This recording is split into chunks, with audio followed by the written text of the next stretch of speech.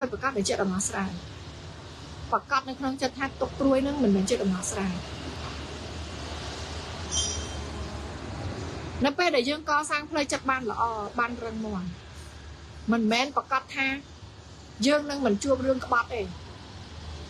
ព្រោះរឿងក្បត់មិនមែនស្ថិតនៅលើយើងទេគឺនៅលើគេក៏ប៉ុន្តែនៅពេលដែលយើងកសាងផ្លូវចិត្តរឹងមាំណាយើងនឹងឆាប់ដឹងថាអើឥឡូវ ទោះជាគេខ្វាក់ខ្វាត់ឲ្យគេនៅក៏គេមិននៅដែរហើយបើគេចង់ទៅហើយមានតែយើង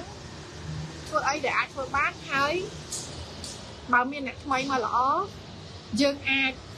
ពិចារណាបានដល់ពេលហ្នឹងចាំយើងពិចារណាទៀតអត់អាហ្នឹងគឺត្រង់ចំណុចហ្នឹងរឿងពិតនៃជីវិតมันមានអ្វីដែលសំតាមយើងចង់បានជារៀងរហូតទេមិនមែនយើងចង់បានអីបាននឹងរហូតទេគឺវាសំទៅតាម ហេតុនិងបច្ច័យគ្រប់គ្រងប្រសិនបើយើងចង់បានអីបាននឹងពិតប្រកបមែនណាមនុស្សហ្នឹងប្រកាសជាលោភលន់ស្លាប់ហើយបងប្អូនទាំងអស់គ្នាជឿទៅព្រោះហេតុអីมันមានអ្នកណាមួយ មានទីបញ្ចប់នៃការចង់បានទេចង់បាននេះចង់បាននោះចង់បាននេះចង់បាននោះទាំងយើងទាំងគេអញ្ចឹងដូចដូចខ្ញុំនិយាយចឹង ការកសាងផ្លូវចិត្តឲ្យបានរឹងមាំគឺជារឿងសំខាន់ចាំបាច់ដែលយើងត្រូវធ្វើចាំបងប្អូនអ្នកគ្នា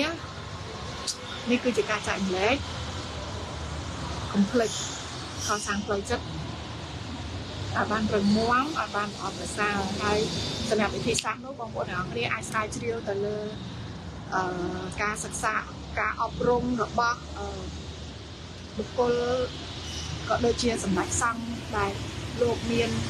ចំណេះដឹងជ្រៅជ្រះចែកម្លែកយ៉ាងច្រើននៅក្នុងបណ្ដាញសង្គមអូខេអញ្ចឹងនេះគឺជាការយកឃើញផ្ទាល់ខ្លួនរបស់ខ្ញុំទេបើសិនជាខ្ញុំនិយាយអីទៅមានការឆ្លំឆ្លងដោយប្រការណាមួយសូមមេត្តាខន្តីអភ័យទោសបងប្អូនអ្នកគ្នាគ្រាន់តែយកខ្លឹមសារនៅក្នុងការចែកនិយាយរបស់ខ្ញុំនេះគឺឲ្យតម្លៃប្រយ័ត្នប្រយែងទៅលើបញ្ហាផ្លូវចិត្តអូខេ អរគុណច្រើនជំរាបលាជួបគ្នានៅវីដេអូក្រោយ